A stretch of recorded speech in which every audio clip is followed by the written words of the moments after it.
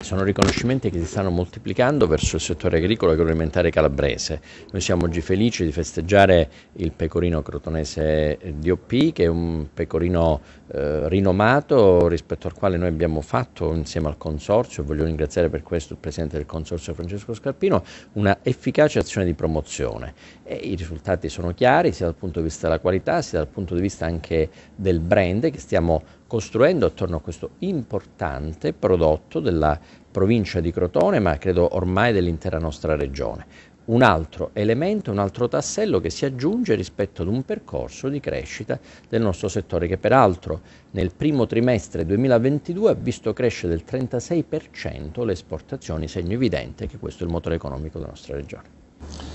Sono diciamo, dei premi che arrivano in un momento particolare, di un'epoca particolare, visto che stiamo attraversando diciamo, una, un periodo diciamo, mai visto, tra virgolette, perché tra pandemia, tra guerra, tra rincari, eccetera, eh, come dire, ehm, a noi imprenditori della Calabria, come il resto diciamo, d'Italia e del mondo, eh, come dire, abbiamo avuto diciamo, grosse difficoltà e abbiamo grosse difficoltà per andare avanti, però eh, come dire, arriva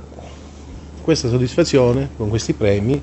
a questo, a questo, concorso internazionale al quale abbiamo partecipato e la Calabria che è in grado di, dire, di offrire prodotti d'eccellenza eh, a queste competizioni ritorna con dei grossi risultati.